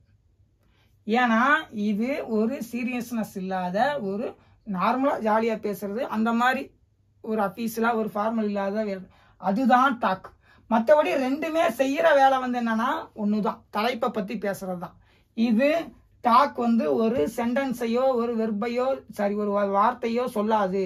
தலைப்பை பற்றி மட்டும்தான் சொல்லும். இது அதே தான் எது ஸ்போக்கும் என்ன தலைப்பை பற்றி பேசுகிறோங்கிறதா சொல்லும். ஆனால் ரெண்டுமே சென்டென்ஸ் வார்த்தையை சொல்லாது. ஆனால் ஒன்று ஃபார்மல் இன்னொன்று இன்ஃபார்மல் ஓகே அவ்வளோதான் இது வந்து பார்த்தீங்கன்னா ஸ்பீக்குக்கும் டாக்குக்கும் உள்ள வித்தியாசம். அதே நேரத்தில் நீங்கள் இன்னொரு விஷயத்தை தெரிஞ்சுக்கணும். அதாவது வித் டு அப்படிங்கிற ரெண்டு ப்ரிப்போசிஷன் இருக்கும். He talked with her he talked to her he spoke to her he spoke with her அப்படின்னு யூஸ் பண்ண முடியும். இந்த டூ போடும்போது இது எதை மட்டும் சொல்லும்னா நீங்கள் அந்த பொண்ணுக்கிட்ட அதை பற்றி பேசுனீங்கன்னு சொல்லும். அந்த பொண்ணு வந்து பார்த்தீங்கன்னா இங்கே அதாவது லிசனர் லிசனர் வந்து உங்ககிட்ட மறுபடியும் அதை பற்றி அந்த கான்வர்சேஷனில் டிஸ்கஸ் பண்ணாரா பண்ணலையாங்கிறதெல்லாம் சொல்லாது. இது இந்த டூ வந்து பார்த்தீங்கன்னா one way conversation one way கான்வர்சேஷனை பற்றி சொல்லும். அதாவது ஒருத்தர் மட்டும் பேசினாரு இவர்கிட்ட இவர் பேசினாருங்கிறத பற்றி சொல்லும். ஆனால் நீங்கள் அதையே ஹி ஸ்போக் வித்துகர்னு சொல்லி போட்டிங்கன்னா வித்து வந்து சொல் எதை சொல்லும் அப்படின்னா இவரும் பேசினாரு இவங்களும் அதை பற்றி இவர்கிட்ட பேசினாங்க. ரெண்டு பேரும் ஒப்பீனியனை எக்ஸ்சேஞ்ச் பண்ணிக்கிட்டாங்க. கான்வர்சேஷன் வந்து மியூச்சுவலாக இருந்துச்சு. ரெண்டு பேரும் பேசினாங்கன்னு சொல்லும். ஸோ ப்ரிப்பாய்சன் வந்து எப்படி சூஸ் பண்ணுன்னு சொல்லி தெரிஞ்சுக்கங்க. டூ வந்து இவர் மட்டும் பேசினார். He talk to her about college அட்மிஷனில் இவர் வந்து இந்த பொண்ணுகிட்ட அதை பற்றி பேசினார். ஆனால் அங்கேயே நம்ம வித்து யூஸ் பண்ணோம் அப்படின்னா இந்த டூ எடுத்துகிட்டு வித்து யூஸ் பண்ணும்போது ரெண்டு பேருமே அதை பற்றி பேசினாங்க அப்படின்னு சொல்லி அர்த்தம் வந்துடும் ஓகே அது ரொம்ப முக்கியமான விஷயம். உங்களுக்கு புரிஞ்சிருக்கும்னு நினைக்கிறேன். ஸோ நீங்கள் நல்லா தெரிஞ்சுக்கிட்டீங்க. டாக் வந்து பார்த்தீங்கன்னா தலைப்புக்காக மட்டும்தான் யூஸ் பண்ண முடியும். ஸ்பீக்கும் அதே மாதிரி தான் ஹீ டாக்குடு நம்ம இந்த மாதிரி யூஸ் பண்ணக்கூடாது. He talked about he he will come tomorrow அப்படின்லாம் நம்ம யூஸ் பண்ணக்கூடாது. ஹீ வில் கம் டுமாரோலாம் சொல்லக்கூடாது. ஏன்னா டாக்குனாவே ரெண்டும் பேசுகிறது தானே அவன் நாளைக்கு வருவேன்னு சொல்லி சொன்னான். He talked he will come tomorrow அந்த மாதிரி யூஸ் பண்ணக்கூடாது. He talked he will come tomorrow அந்த மாதிரி யூஸ் பண்ணக்கூடாது. ஏன்னா இது ஒரு particular sentence he talked tomorrow அப்படின்னு சொல்லக்கூடாது. ஏன்னா அவர் டுமாரோவை பற்றி பேசினார்னு அர்த்தம் ஆகிடும் டுமாரோங்கிற ஒரு விஷயத்தை பற்றி பேசினார் அப்படிங்கிற அர்த்தம் ஆயிடும் ஏன்னா இது டாக்லாம் எதை பற்றி சொல்லும்னா தலைப்பை பற்றி மட்டும்தான் சொல்லும். தலைப்பு என்ன விஷயத்தை பற்றி பேசுகிறாங்கன்னு சொல்லும். அது ஒரு வார்த்தையவோ வாக்கியத்தையோ எடுத்துக்காது. ஏன்னா ரெண்டும் ஸ்பீக்கும் டாக்கும் அந்த மாதிரி. ஓகே அதுக்கடுத்து நம்ம என்ன பார்க்க போகிறோம் இப்போ பேசுகிறத பற்றி பார்த்து முடிச்சாச்சு. பேசுறதுனா எதை பற்றி ஒரு தலைப்பை பற்றி தான் பேச முடியும். ஆனால் சொல்றது அப்படின்னு சொல்லி பார்க்கும்போது நமக்கு வந்து பார்த்தீங்கன்னா வார்த்தை வாக்கியம் எல்லாத்தையும் சொல்ல முடியும். அவர் என்ன வார்த்தை சொன்னார் என்ன வாக்கியம் சொன்னார்ங்கிறத சொல்ல முடியும். அதுக்கு தான் நமக்கு வந்து சேவும் டெல்லும் இருக்கு. இப்போ சேவை பற்றி பார்க்கலாம். இதில் இன்னொன்று என்ன இருக்கு அப்படின்னா இந்த பேசுல டாக் வந்து இன்ஃபார்மல் சுச்சுவேஷனுக்கு பண்ணுறது ஸ்பீக் வந்து ஃபார்மல் சுச்சுவேஷனுக்காக பண்ணுறது ஆனால் சேவும் டெல்லும் ஃபார்மல் சுச்சுவேஷனுக்கும் வரும் இன்ஃபார்மல் சுச்சுவேஷனுக்கும் வரும். அதில் வந்து பார்த்தீங்கன்னா வித்தியாசம்லாம் கிடையாது. இப்போ சேவை பற்றி பார்க்க போகிறோம் இந்த சேவை வந்து பார்த்தீங்கன்னா நம்மக்கிட்ட மொத்தம் எத்தனை இருக்குது? டாபிக் சென்டென்ஸ் அதுக்கப்புறம் வேர்டு அப்போ இதில் அது எதை பற்றி இது பண்ணுது பேசுது அப்படின்னு சொல்லி சொல்லணும். அப்போ இது வந்து பார்த்தீங்கன்னா ஒரு வார்த்தையை ஒரு வார்த்தையை ஒரு வாக்கியத்தை ஒரு வாக்கியத்தை பேசு. அப்ப இதோட மீனிங் வார்த்தை வாக்கியம். அப்ப தலைப்பை பத்தி இது சொல்லுமானா சொல்லாது. ஏன்னா தலைப்பை பத்தி நமக்கு வேணும் அப்படின்னா இங்க போயிடலாம் ஸ்பீக்கு டாக்குக்கு போயிடலாம் ஃபார்முலா வேணும்னா ஸ்பீக் எடுத்துக்கலாம். இன்ஃபார்முலா வேணும்னா டாக் எடுத்துக்கலாம். அப்ப இது தலைப்பை பத்தி கண்டுக்காது. ஓகே அப்ப இதுல நம்ம நல்லா தெரிஞ்சுக்கணும். ஒரு தலைப்பை விஷயத்தை இது சொல்லுமா அப்படின்னு சொல்லி சொன்னா சொல்லாது இதை அடிச்சிடணும். ஓகே ஏன்னா இது அதை பத்தி சொல்லாது இது சொல்லாது. ஆனா இந்த ரெண்டு விஷயத்த ஒரு வார்த்தைய ஒரு வாக்கியத்தை பேசும். ஒரு வாக்கியத்தை பேசு ஒரு வார்த்தையை பேசு அப்படிங்கிற மீனிங் கூட வச்சுக்கலாம். ஓகே இப்ப நமக்கு வந்து ஒரு இது பார்க்க போகிறோம் ஹீ சேஸ் அவன் சொல்றான் ஹீ இஸ் எ லாயர் இந்த சென்டென்ஸ் கரெக்டானா கரெக்ட் ஏன்னா இது எதை சொல்லும்? சேங்கிறது. ஒரு வார்த்தையை வாக்கியத்தை தான் சொல்லும். அப்போ இது வந்து ஒரு வாக்கியம். அப்போ இந்த சென்டென்ஸ் கரெக்டு அதே நேரத்தில் ஹீ சேஸ் லாயர் அப்போ இந்த சென்டென்ஸ் கரெக்டா அப்படின்னா இதுவும் கரெக்டு இதுவும் கரெக்டு ஏன்னா இது ஒரு வார்த்தை. வார்த்தையை சொல்லலாம். ஹி செட் சாக்லேட் சாக்லேட்டுன்னு சொன்னான் அப்படின்னு கூட நம்ம சொல்ல முடியும். ஸோ என்ன ஒரு வார்த்தை என்ன ஒரு வாக்கியம்தான் இது எது நமக்கு சே சொல்கிறது அதே நேரத்தில் இதில் ஒரு டாப்பிக்கை பற்றி பேச முடியுமா? He says about college admission அப்படின்னு ஒரு டாப்பிக்கை பற்றி சொல்ல முடியுமா அப்படின்னா சொல்ல முடியாது. இந்த சென்டென்ஸ் வந்து தவறு. இந்த சென்டென்ஸ் தவறு. ஹி சேஸ் அபவுட் காலேஜ் அட்மிஷன்ங்கிறது தவறு. ஸோ நமக்கு இது வந்து பார்த்தீங்கன்னா ஒரு டைரக்ட் ஆப்ஜெக்டை எடுத்துக்கும். என்ன வார்த்தை பேசுனாங்க என்ன வா என்ன வாக்கியம் பேசுனாங்க என்ன வார்த்தை பேசுனாங்கிறத இது எடுத்துக்கும். அதனால நமக்கு வந்து ரொம்ப முக்கியமாக தெரிஞ்சுக்க வேண்டியது ஏன்னா உங்களுக்கு கடைசியாக ஒரு ஃபைனலாக ஒரு டேபிள் போடுறேன். அந்த டேபிளில் வந்து நீங்கள் இன்னும் பக்காவாக தெரிஞ்சுக்கலாம். எப்படி வந்து ஒவ்வொன்றும் வந்து கரெக்டாக இருக்குது அப்படின்னு சொல்லி. அப்போ நமக்கு தெரிஞ்சிருச்சு ஒரு வார்த்தை இல்லை வாக்கியத்தை பேசு அப்படின்னு சொல்லி. இது வந்து ஒரு தலைப்பை பற்றி பேசாது. இந்த சேலையே அடுத்து டெல்லு வந்து பார்த்தீங்கன்னா அதில் இன்னும் கொஞ்சம் வித்தியாசமான மீனிங் இருக்குது நீங்கள் நல்லா தெரிஞ்சுக்கணும். இது வரைக்கும் பார்த்த அடுத்து ஓகே அடுத்த பாயிண்ட்லேயே சொல்கிறேன் அப்போ தான் உங்களுக்கு புரியும். அப்போ நமக்கு தெளிவாக தெரிஞ்சிருச்சு சே வந்து பார்த்தீங்கன்னா வாக்கியத்தை வார்த்தையை பேசு அப்படின்னு சொல்லி சொல்லுதுன்னு. ஒரு ரெண்டு மூணு எக்ஸாம்பிள் பார்த்தோம்னா தான் நமக்கு வந்து தெளிவாக தெரியும். ஆனால் சில நேரங்களில் பார்த்தீங்கன்னா இன்னும் ஒரு- ஒரே ஒரு எக்ஸாம்பிளில் வாட் டிட் ஹீ சே அப்படின்னு அவன் என்ன சொன்னான் அப்படின்னு சொல்லி அர்த்தம். இதில் கூட நீங்கள் நல்லா நோட் பண்ணி பார்த்தீங்கன்னா அவன் என்ன சொன்னான் அப்படிங்கிற ஒரு அர்த்தம் அவன் சொன்னதை வந்து அந்த இம்ப்ளை பண்ணிக்கிறான். அதாவது புரிஞ்சுக்கிறோம். இந்த ஒரு வாக்கியத்தையோ இல்லை வார்த்தையோ தான் அப்போ கூட நம்ம இதில் மென்ஷன் பண்ணுறோம் அவன் எதை பற்றி பேசுகிறான்னு கேட்கல. அவன் என்ன சொன்னான் அப்படின்னு சொல்லி அர்த்தம்.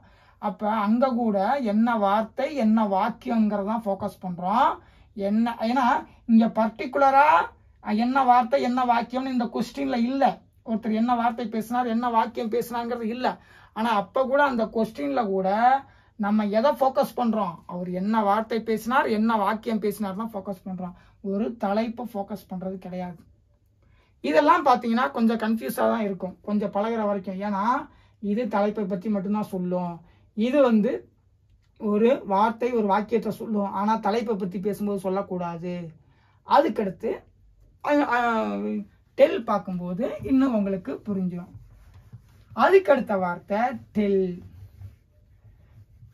ஏன்னா ரெண்டுமே வந்து பார்த்தீங்கன்னா சேவும் வந்து டெல்லும் வந்து சொல்ல பற்றி தான் சொல்லும். அதை என்ன சொன்னாங்க என்ன பர்டிகுலர் வார்த்தை என்ன வாக்கியம் சொன்னாங்கன்னு. ஆனால் டெல் வந்து இந்த சேல் இருந்து கொஞ்சம் வித்தியாசப்படும். அது எப்படி வித்தியாசப்படுதுன்னா அதாவது இதுவும் இதுவும் ஒரே மாதிரி இருக்குது அப்படின்னா அப்புறம் எதுக்கு இந்த வார்த்தை? தேவையே கிடையாது. இதுவும் இதுவும் ஒரே மாதிரி இருந்தாலும் இது வந்து இன்ஃபார்மல் சுச்சுவேஷனுக்கு அப்போ இதோட தேவை இருக்குது ஏன்னா கொஞ்சம் மாறுபட்டுருச்சு. அப்போ இது இதுவும் ஒரே மாதிரி இருந்துச்சுன்னா அப்போ இந்த வார்த்தை தேவையே கிடையாது. இதை மட்டும் யூஸ் பண்ணிட்டு போயிடலாம். அப்போ இதுலேருந்து இது கொஞ்சம் வித்தியாசப்படுது.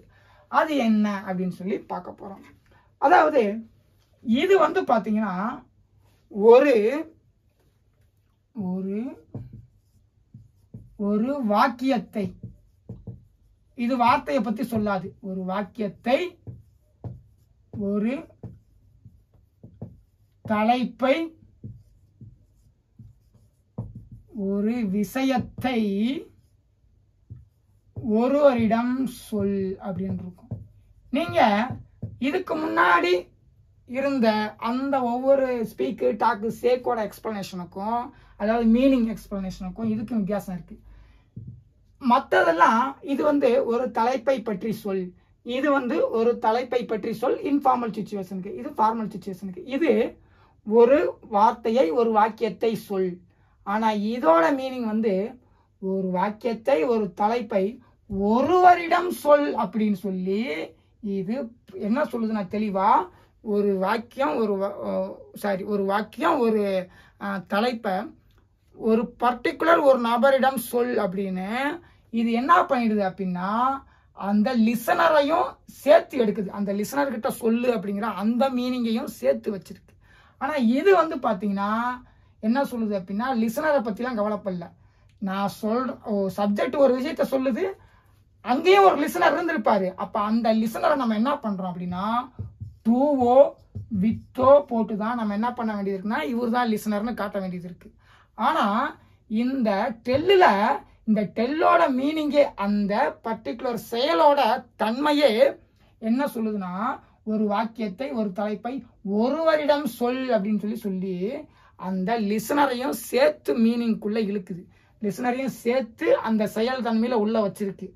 சொன்னதையும் சேர்த்து அந்த ச- இந்த டெல்லுங்கிற அந்த செயல்ல என்ன தன்மையில இருக்கிறதுக்காக இந்த வெறுப்பு உருவாக்கியிருக்காங்கன்னா சப்ஜெக்ட் வந்து ஒருத்தர் அதாவது ஸ்பீக்கர் வந்து லிசனர் கிட்ட ஒரு விஷயத்த சொல்றாரு. அப்ப அந்த மாதிரி சுச்சுவேஷன் இருக்கிற அந்த செயல் தன்மைக்காக உருவாக்கப்பட்ட வெறுப்பு தான் டெல். ஓகே இந்த ஸ்பீக்கு டாக்கு சேல அங்க ஒரு லிசனர் இருக்கிறத பத்தி நம்ம பெருசா கவலைப்பட மாட்டாங்க. அதனால தான் லிசனர் வேணும்னா இவர் தான் லிசனர் ஹீ செட்டு டூ அப்படின்னு சொல்லி அதுக்கப்புறம் அந்த லிசனரை சொல்றாங்க. ஹீ செட்டு போட்டு இவர் தான் லிசனர்னு சொல்லி காட்டுறதுக்காக to he said to her ஆனா இந்த வெறுப்புல லிசனர்கிட்ட யாரோ ஒரு விஷயத்த சொல்றாங்க. அந்த செயல் தன்மையில யாரோ ஒருத்தர் யாருக்கிட்டயோ என்னவோ விஷயத்த சொல்றாங்க. அந்த செயல் தன்மையில இருக்கும்போது தான் நம்ம வந்து நம்ம என்ன பண்றோம்? என்ன பண்றோம்னா டெல்லுங்கிற வெறுப்பு உருவாக்கியிருக்கோம். அதாவது இன்னும் தெளிவா சொல்லணும்னா இவர் லிசனர் ஓகே இவர் ஒரு விஷயத்த சாரி இவர் வந்து ஸ்பீக்கர் இந்த ஸ்பீக்கர் வந்து பேசின விஷயத்த நம்ம என்ன பண்ணிட முடியும் அப்படின்னா ஸ்பீக்கு டாக்கு சேவை வச்சு சொல்லிட முடியும். ஆனால் இந்த டெல் அப்படிங்கிற இந்த வெறுப்புக்கான சுச்சுவேஷனே இவர் ஸ்பீக்கர் இந்த ஸ்பீக்கர் வந்து என்ன வார்த்தை பேசுகிறார் அப்படிங்கிறது ஒரு கண்டிப்பாக ஒரு லிசனர் இருக்கணும். அந்த அந்த சுச்சுவேஷனில் இருக்கும்போது தான் நம்ம என்ன பண்ணுறோம் அப்படின்னா இந்த ஒரு இந்த ரெண்டு பேர் இருந்து அந்த கான்வர்சேஷனை பண்ணுறாங்க அப்படிங்கிற அந்த சுச்சுவேஷன் இருக்கும்போது தான் நம்ம என்ன பண்ண வேண்டியது இருக்குது அப்படின்னா இந்த ஒரு வெர்பையை கிரியேட் பண்ண வேண்டியது இருக்குது ஓகே நல்லா நோட் பண்ணிக்கங்க. இங்கே லிசனர் இருக்காருங்கிறத பற்றி நம்ம கவலைப்படலை. ஆனால் இந்த பர்டிகுலர் சூழ்நிலை ரெண்டு ஒருத்தர்கிட்ட இன்னொரு விஷயத்த சொல்கிறாரு அந்த சூழ்நிலைக்காக உருவாக்கப்பட்ட வெறுப்பு தான் டெல். ஓகே உங்களுக்கு புரிஞ்சிருக்கும்னு நினைக்கிறேன். அதனால ஆட்டோமேட்டிக்காகவே இதில் ஒரு லிசனர் இருக்காருங்கிற தன்மையை கொண்டு வந்துருதுங்கிறனால நம்ம என்ன பண்ண தேவையில்லை? டெல்லுக்கு அடுத்து டூ போட தேவையில்லை. இந்த விஷயத்த இவர்கிட்ட தான் சொல்கிறார் அப்படின்னு சொல்லி நம்ம லிசனரை ஐடென்டிஃபை பண்ணுறதுக்காக ஒரு ப்ரீபாய்சனை போட்டு இவர் தான் அந்த லிசனர்னு சொல்லி அவ- அந்த லிசனரை நம்ம டைரக்ஷன் பண்ணி காட்ட தேவையில்லை. ஓகே ஏன்னா ஆக்சுவலாக இதில் லிசனர் இருக்காருங்கிறது இந்த டூ அப்படிங்கிற அந்த மீனிங்கும் உள்ளே இருக்குது அதாவது வெர்பே அந்த வெர்போட தன்மையே ஏதோ ஒரு லிசனர்கிட்ட சொல்லிட்டு இருக்காரு அப்படிங்கிற தன்மையில் இருக்கிறனால நம்ம அந்த லிசனரோட டெல் மீ அப்படின்னு சொல்லி போட்டாவே போதும். ஆனால் இங்கே செட்டு டூ மீ அப்படின்னு சொல்லி சொல்லணும். ஏன்னா இது வந்து லிசனர்கிட்ட அந்த விஷயத்த சொன்னார் அப்படிங்கிறத பற்றிலாம் சொல்லாத வெறுப்பு. ஆனால் இது ஒரு லிசனர்கிட்ட அந்த விஷயத்த சொன்னார் அப்படிங்கறத சொல்லக்கூடிய வெறுப்பு. அதனாலதான் செட்டுக்கு வந்து நம்ம டூ போடுறோம் டெல்லுக்கு டூ போடுறதில்ல. ஏன்னா வெறுப்பே அந்த தன்மை தான் ஒருவரிடம் ஒன்றை சொல் அப்படிங்கிறது தான் டெல் ஓகே ஆனால் சொல் பேசு அப்படிங்கிற அந்த தன்மையில் இருக்கக்கூடியது தான் ஸ்பீக்கு டாக்கு சே இங்கே ஒருவரிடம் ஒன்றை சொல் அப்படிங்கிற அந்த மீனிங் இருக்குது ஓகே இப்போ நம்ம இந்த டெல்லுக்கு சில எக்ஸாம்பிள்ஸ் பார்த்தோம்னா நமக்கு தெளிவாக புரிய வரும். இப்போ நமக்கு நல்லா நோட் பண்ணிக்கணும். இன்டே சாரி டைரக்ட் ஸ்பீச்சில் இருக்கிறத இன்டைரக்ட் ஸ்பீச்சாக மாற்றுவோம் பார்த்துருக்கீங்களா? She spoke sorry she said to her சொல்கிறோம் ஹி செட் டு ஹர் அவள் அவளிடம் சொன்னால்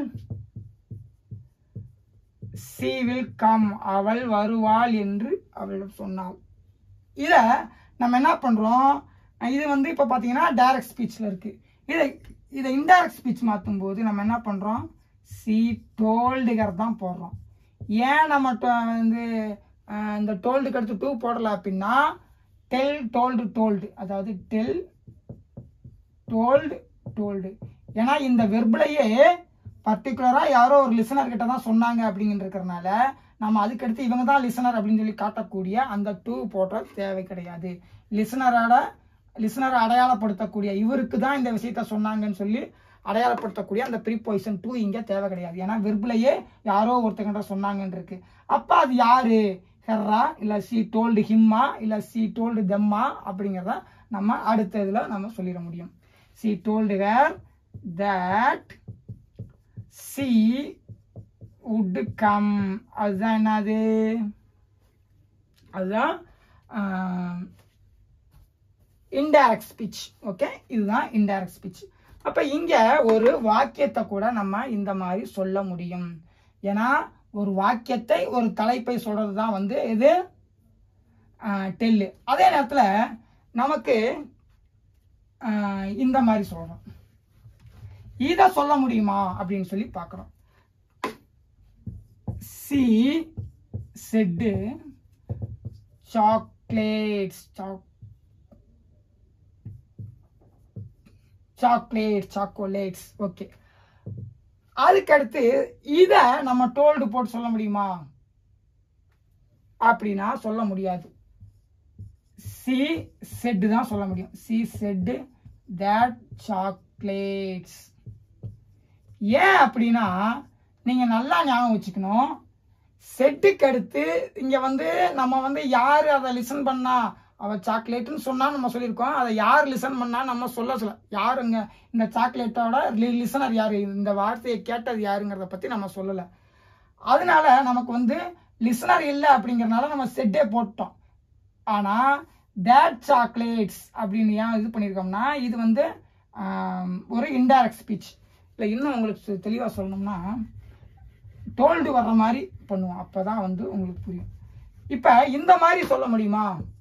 She told she told chocolates அப்படின்னு சொல்ல முடியுமா? அப்படின்னா சொல்ல முடியாது. ஏன்னா ஏன்னா இது வந்து ஒரு வார்த்தை.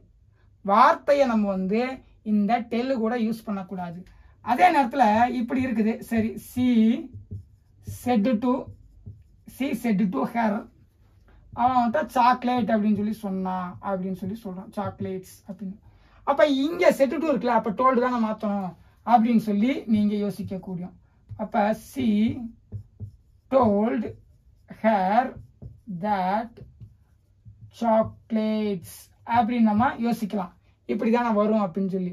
ஆக்சுவலாக இது வந்து பார்த்தீங்கன்னா டெக்னிக்கலாக அதாவது கிராமட்டிக்கலாக இந்த சென்டென்ஸ் வந்து டைரக்ட் ஸ்பீச்லேருந்து இன்டைரக்ட் ஸ்பீச் மாற்றும் போது கரெக்ட் ஆனால் இதை இன்டைரக்ட் ஸ்பீச்சாக மட்டுமே எடுத்து இது ஒரு பர்டிகுலர் சென்டென்ஸாக பார்த்தீங்க அப்படின்னா சி டோல்டு ஹர் தட் சாக்லேட்ஸுங்கிறதுல ஆங்கிலத்தின்படி இதில் தெளிவான மீனிங் இல்லை அப்படின்னு சொல்லி சொல்கிறாங்க அதனால தான் அவங்க என்ன பண்ணுறாங்க அப்படின்னா ஒருவேளை இந்த மாதிரி ஷீ டோல்டுகர் சாக்லேட்ஸ் இந்த மாதிரிலாம் வருது அப்படின்னா நீங்கள் என்ன பண்ணுங்கள் இந்த இடத்துல ஃபுல் சென்டென்ஸ் யூஸ் பண்ணுங்கள் ஏன்னா டோல்டுக்கு அடுத்து பார்த்தீங்கன்னா ஒரு வார்த்தையை யூஸ் பண்ணுற மாதிரி யூஸ் பண்ணக்கூடாது.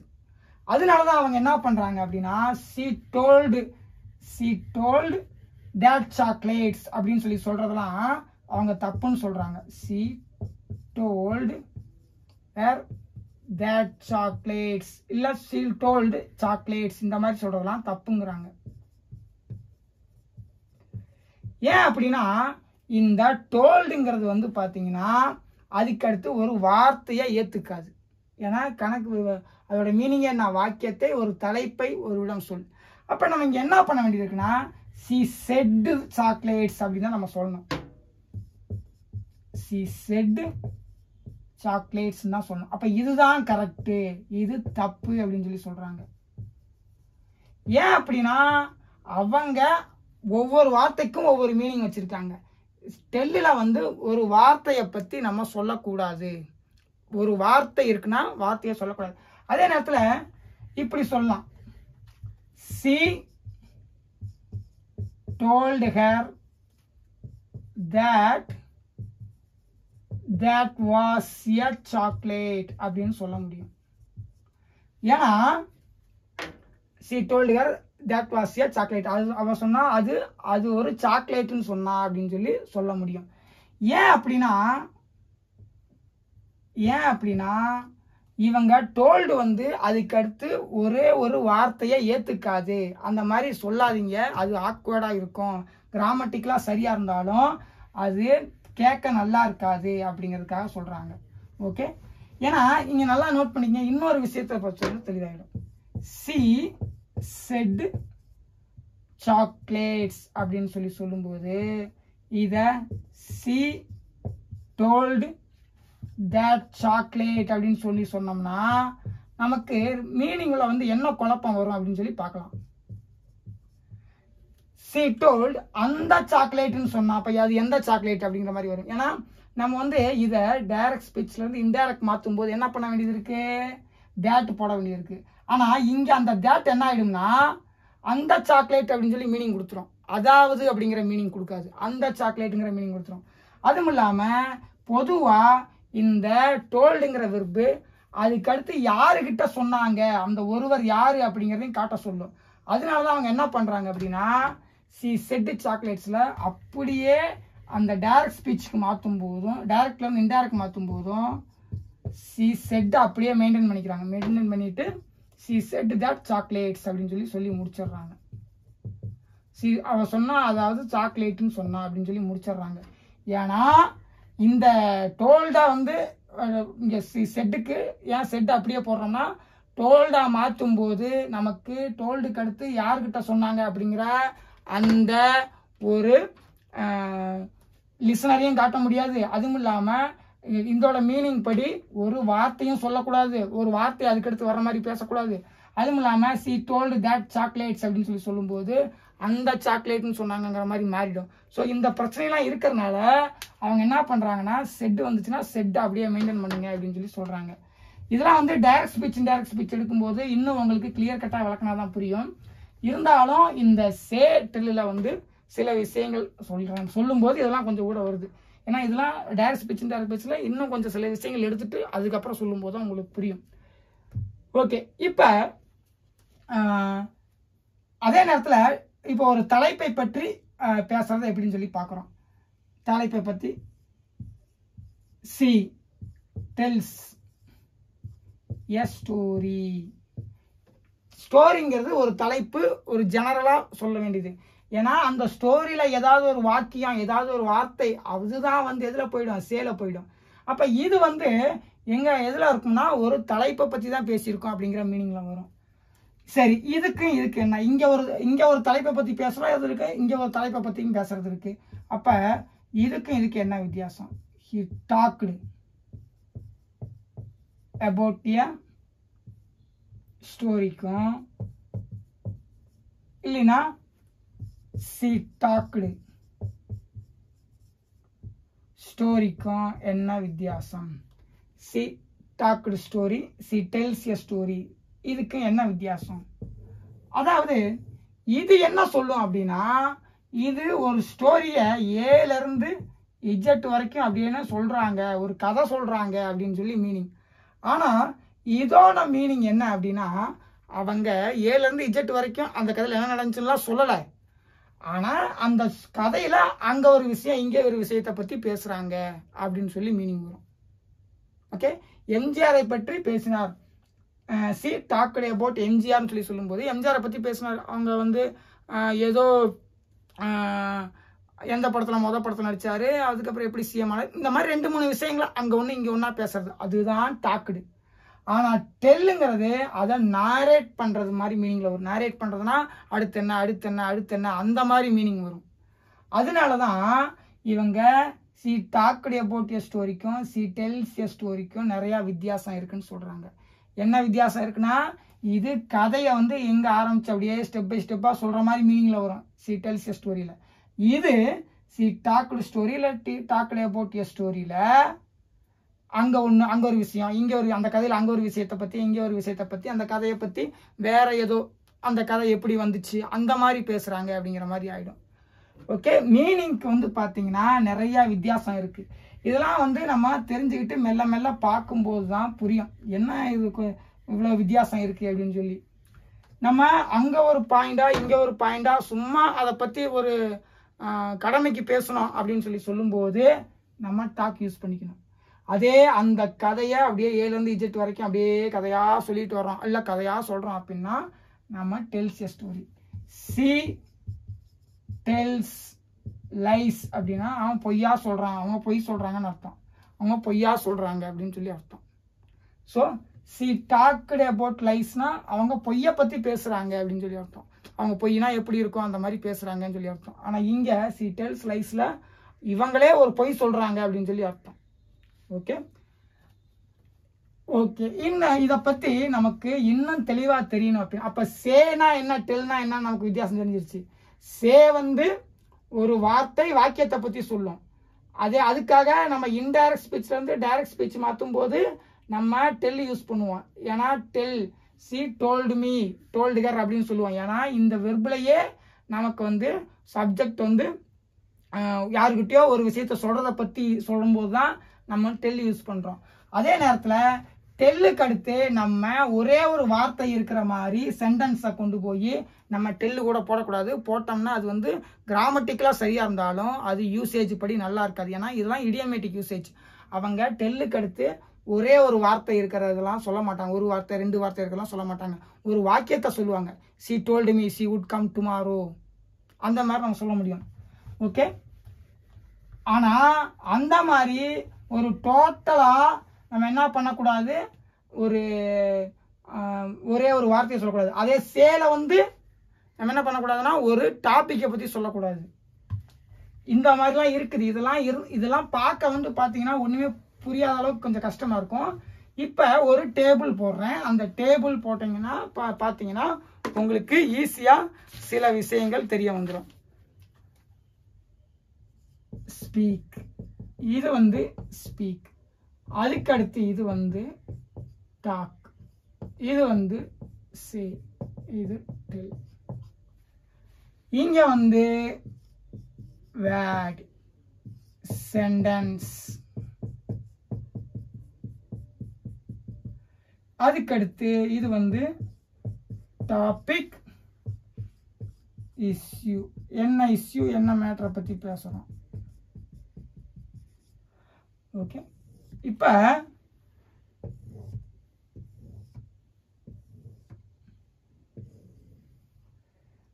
இப்போ இதை பற்றி போகணும் இங்க ஸ்பீக்ல வேடை பத்தி சொல்ல முடியுமா அப்படின்னா சொல்ல முடியாது. அதே மாதிரி டாக்ல வேடை பத்தி சொல்ல முடியுமானா சொல்ல முடியாது. டாக்னு சொல்லிட்டு ஒரு அதுக்கடுத்து ஒரு வார்த்தையை பத்திலாம் பேசக்கூடாது. அதே மாதிரி சேலை வேடை பற்றி சொல்ல முடியுமானா சொல்ல முடியும். ஹீ செட் அப்படின்னு சொல்லிட்டு பர்டிகுலராக இது என்ன வார்த்தையை சொன்னார் அப்படின்னு சொல்லி சொல்ல முடியும். அதுக்கடுத்து டெல்லில் சொல்ல முடியுமானா சொல்ல முடியாது. ஓகே அதுக்கடுத்து ஸ்பீக்கில் சென்டென்ஸை பற்றி சொல்ல முடியுமானா சொல்ல முடியாது. டாக்ல சொல்ல முடியுமானா சொல்ல முடியாது. சேல சொல்ல முடியுமானா ஒரு சென்டென்ஸை தாராளமாக அவர் என்ன வாக்கியம் பேசினார்னு சொல்ல முடியும். அதே மாதிரி டெல்லில் சொல்ல முடியுமானா தாராளமாக சொல்ல முடியும். சரி.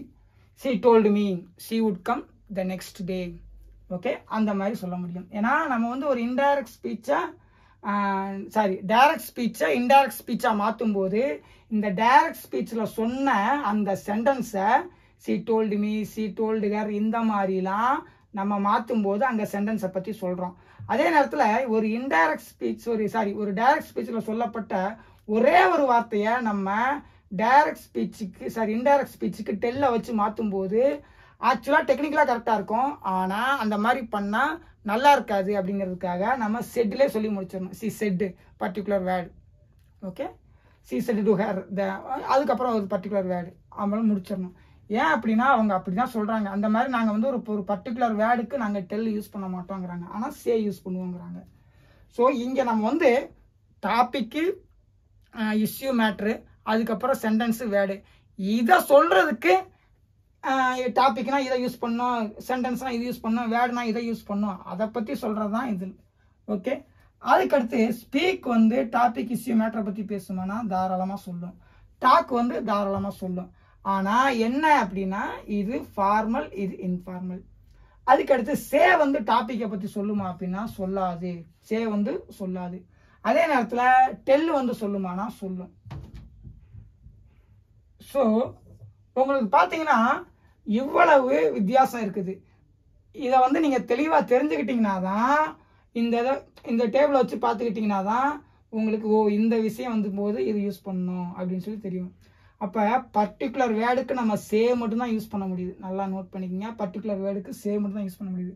சென்டென்ஸுக்கு நம்ம வந்து சேவும் யூஸ் பண்ண முடியுது. டெல்லும் யூஸ் பண்ண முடியுது.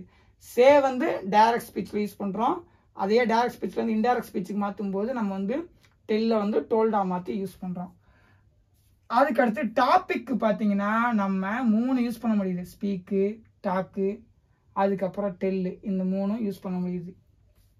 He told me he told me about a story he told me a story ரெண்டுக்கும் வித்தியாசம் இருக்குது. ஸோ இதை வந்து பார்த்தீங்கன்னா உங்களுக்கு புரிஞ்சுக்கும். இதை நீங்கள் வந்து நல்லா ஒவ்வொரு பர்டிகுலர் ஒவ்வொரு சென்டென்ஸாக வந்து எக்ஸாம்பிள் சென்டென்ஸ் நிறையா பார்க்கும்போது நெட்டில் பார்த்தீங்கன்னா நிறையா இருக்கும். நிறையா பார்க்கும்போது தான் உங்களுக்கு ஒரு புரிதல் ஏற்படும். ஓ தெளிவாக ஏன்னா நான் கிளாஸ் எடுத்துடலாம். கிளாஸ் எடுத்துகிட்டு இந்த பாயிண்ட்ஸ்லாம் இப்படி இருக்குன்னு சொல்லி உங்களுக்கு அதை பற்றி ஒரு தெளிவை ஏற்படுத்திடலாம். ஆனால் அதுக்கப்புறம் நீங்கள் வந்து என்ன வந்து அதை நீங்கள் வந்து ஒர்க் அவுட் பண்ணுறீங்கிறத பொறுத்து தான் உங்களுக்கு இதை பற்றி நல்ல நாலேஜ் கூடும். எப்போவுமே நான் எடுக்கிற கிளாஸ்லாம் உங்களுக்கு அதை பற்றி ஒரு தெளிவான நாலேஜ் கொண்டு வந்து விட்டுரும். இப்படி தான் இந்த விஷயத்தை புரிஞ்சுக்கணும் அப்படின்னா. ஆனால் அதுக்கப்புறம் நீங்கள் என்ன ப்ராக்டிஸ் பண்ணுறீங்கிறத பொறுத்து தான் ரிசல்ட் இருக்குது வெறும் தெரிஞ்சுக்கிறதுனால மட்டுமே வந்து நமக்கு ஆங்கிலம் வந்துடாது அதுக்கப்புறம் நமக்கு என்ன ப்ராக்டிஸ் பண்ணுறோம் அதுதான் நமக்கு ஆங்கிலம் வரும். ஓகே உங்களுக்கு இப்போ வந்து பார்த்தீங்கன்னா இது தெளிவாக புரிஞ்சிருக்குன்னு நினைக்கிறேன். ஆக்சுவலாக இது லைன் அப்லே இல்லாத கிளாஸு சரி இருந்தாலும் இப்போ எடுக்கணும் அப்படின்னு சொல்லி தோணிச்சு எடுத்தேன் ஓகே நெக்ஸ்ட் கிளாஸ் வந்து பார்த்தீங்கன்னா அடுத்து சரி சரின்னு வந்துக்கிட்டே இருக்கோம் ஓகே நெக்ஸ்ட் கிளாஸில் மீட் பண்ணுறேன் தேங்க்யூ